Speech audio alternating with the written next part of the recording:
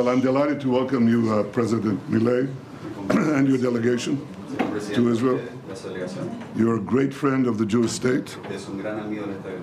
We are delighted with your decision to recognize Jerusalem as Israel's capital, to move your diplomatic uh, uh, post there, and also, of course, uh, an embassy. We had a conversation now discussing free markets. this is something that uh, we both champion, and uh, uh, you are leading this in uh, Argentina. We have led this in Israel, but I think that we can do a lot more together.